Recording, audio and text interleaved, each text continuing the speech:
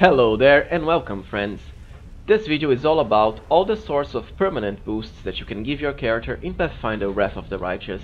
There is actually quite a lot of them really, such as to ability scores, armor class, and even skill points, never mind all sorts of other permanent effects. So let's get started. First, let us talk about the tomes that permanently enhance your ability scores. The first one you can find is the Manual of Quickness of Action plus 2 for a permanent plus 2 inherent bonus to dexterity. You can find it in the Midnight Fane area during chapter 3 or 4, but be advised you will have to fight the infamous Playful Darkness enemy. The good thing is I already have a guide on how you can easily defeat Playful Darkness even on Unfair with any mythic character that you can find here to the side and also down below in the video description. After you defeat Playful Darkness, you'll be able to loot the Tome of Dexterity plus 2 from one of the skeletons here. I don't think you can actually return to this area after a certain point during chapter 5, so be sure to pick it in chapter 3 or 4.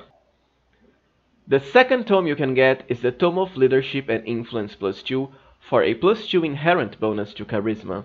Now finding this tome can be rather tricky. You can only get it during chapter 4, so it is missable, and you have to complete the Demodand Conspiracy side quest.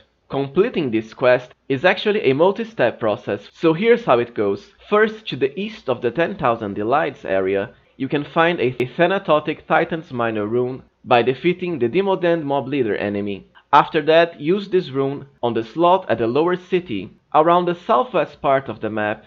That will charge the rune and you'll have to fight a few demons. After that, go to the middle city, nearby Latverg's mansion, put the rune there and charge it again. The third room slot is on top of Willowdale's mansion. As usual, put the rune there and kill the enemies. Now the last place you have to go is to the hidden abode area close to the Harem of Ardent Dreams. By completing all of these four, you will unlock the portal to the hidden abode area. Once inside, you'll have to fight quite a lot of Demodands and demons to finish the Demodand conspiracy quest and it is there that you can also find the Tome of Charisma plus 2. Once again, this tome is missable and you can only find it during chapter 4, so keep that in mind. The third tome you can find, and this is also only at chapter 4, so missable as well, is the Tome of Understanding plus 2, for a plus 2 inherent permanent bonus to Wisdom. Finding this one at least is rather simple, all you have to do is defeat Melazmera the Umbral Dragon on the Colyphyr Mines area. The last tome you can get in the game is the Tome of Clear Thought plus 2 for a plus 2 inherent bonus to intelligence. To find this tome, head to the Pulura's Fall area and then solve the constellation puzzle in the central part of the map. To solve it, simply click on the constellations in this order. 1. Newlyweds 2. Daughter 3. Rider 4. Patriarch 5. Pack and lastly the Follower. This will unlock a door to the left where you'll get to find the stone inside the chest. Now the amusing part about the Tome of Intelligence is that it can be either the earliest tome you find or the last one based on your mythic path. Angel characters and only angel characters can actually find it during chapter 3 as you will head to Pulura's Fall early on for your angel mythic quest. Now since we are talking about tomes, it's also important to note you can find quite a lot of books spread throughout the game that give you permanent bonuses upon being read, such as plus 10 to hit points, and even a plus 1 die to sneak attack even if your character does not have the sneak attack feature. I also already have a guide talking about books in Wrath of the Righteous, linked down below in the description and also to the side here. Now as far as skill points, you actually have a singular item that can grant you an untyped stacking bonus to all of your skills by a plus 1, the Grand Owl of Wisdom. Finding it is somewhat easy as well, all you have to do is head to the Hell Knights camp Basically the same area you have to go for Regill's character quest during chapter 3. Then just head left to this little area below the bridge here and with a perception check you'll be able to find the Grand Owl of Wisdom. Use it on your character and you'll get a permanent plus 1 bonus to all of your skill points. Of course, we also have the amazing Profane Ascension passive that gives you a plus 6 Profane bonus to basically your highest ability score and then a plus 4 profane bonus to another one of your ability scores. The way it works is a bit random I think. It tries to give you the plus 6 to your highest ability score, and then the plus 4 to your second highest ability score. Getting it is also simple, all you have to do is accept Nocticula's gift at the end of chapter 4 after you defeat Baphomet. Just remember that by accepting Nocticula's gift, during certain dialogue options, you will have to pass a will check whenever you try to go against Nocticula's wishes. And if you do that, you will lose your Profane Ascension bonus, but you should be able to acquire it again at chapter 6.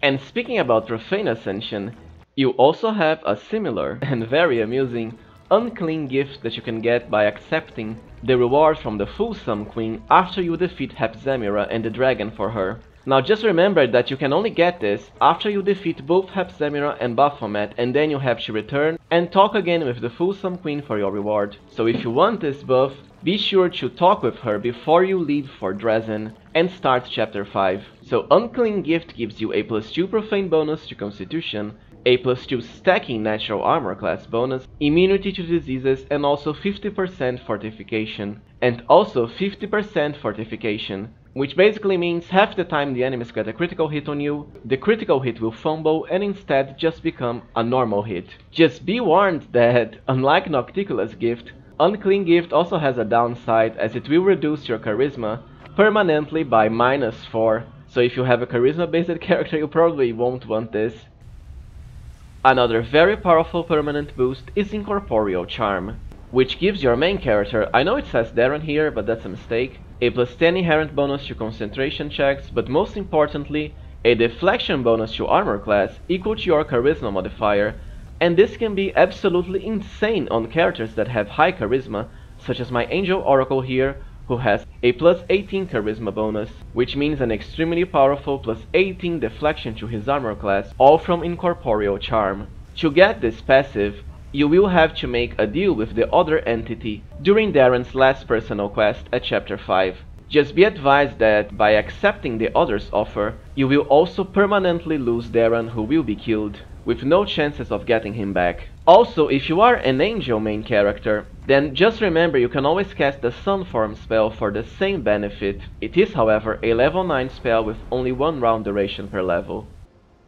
Now let's talk about the Demon Graft ability, it offers quite a lot of bonuses to many different stuff, such as plus 2 natural armor, enhancement, and this is a stacking natural armor bonus, so it should stack with for example the bark skin spell or amulets of natural armor.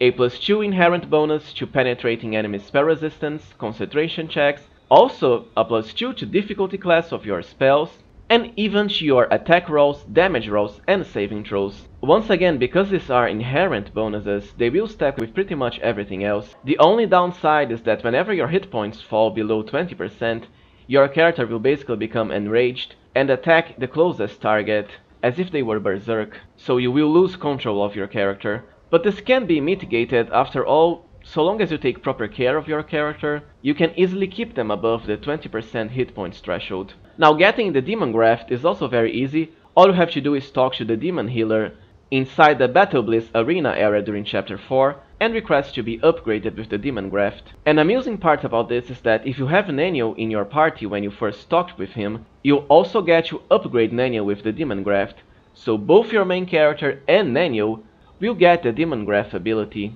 You do not have to choose between one of the other. Just remember that Nenio has to be in your party when you first talk with the demon healer. Otherwise you will not be able to get this later on for her. Lastly, we have the very interesting Mongrel's Blessing passive that makes you immune to death effects, poison and electricity. Also, whenever you land a hit in melee, the enemy must pass a fortitude saving throw or suffer one permanent negative level to a maximum of plus 10. This can be quite powerful. Even though it has a saving throw, it is per attack. So for characters that have a lot of attacks per round, like my Skald Trickster here, you can easily drain enemies of a lot of negative levels. Especially because the difficulty class is based on your character level, so can easily become 30 plus, especially if you are a charisma focused character. Now getting Mongrel's Blessing feature can be a bit tough because it's only available if you romance Wenduag and then choose to accept Savamelek's poison in one of her later events. This probably makes it the rarest and most unique of all the passives. After all, getting it has a very specific requirement of not only having a certain party member, and you can end up with just Lann instead of Wenduag, and also romancing her. Still, it can be a very powerful passive. Lastly we have the permanent version of the Holy Aura buff. It works in the same way as the spell, so plus 4 deflection to armor class and plus 4 resistance bonus on saving throws against evil creatures. Besides that, 25 spell resistance and immunity to dominate and charm effects. Besides a blind on hit effect whenever the enemy tries to hit you, but this does have a difficulty class. You can get this buff by choosing the side of Hokugol, the Silver Dragon, in the Dawn of the Dragon's quest at chapter 5. Right after accepting his side, you already have a permanent Holy Aura boost. To get the Dawn of the Dragon's quest and this event at chapter 5, you actually first have to help Latimus. during chapter 3 he will come to your court in Drezen and ask you to go ahead to the Dragon Burial Ground at map area. Simply head there, talk with him, and later on he'll also tell you to go there again during chapter 5 and this is when this event will actually take place. So be sure to pick the side of the Silver Dragon for the permanent Holy Aura. Alright, so this was it everyone, I hope you've enjoyed this video on all of the permanent boosts you can find in Pathfinder Wrath of the Righteous. If you want your character to be as strong as possible, then be sure to pick all of these boosts, or at least most of them. As usual, please remember to support the channel if you can by becoming a member, which means you'll even get to personally request videos about any RPG topics from me and even request new games from me to play and talk about. Besides that, liking and subscribing of course. Thank you for watching and see you next time friends.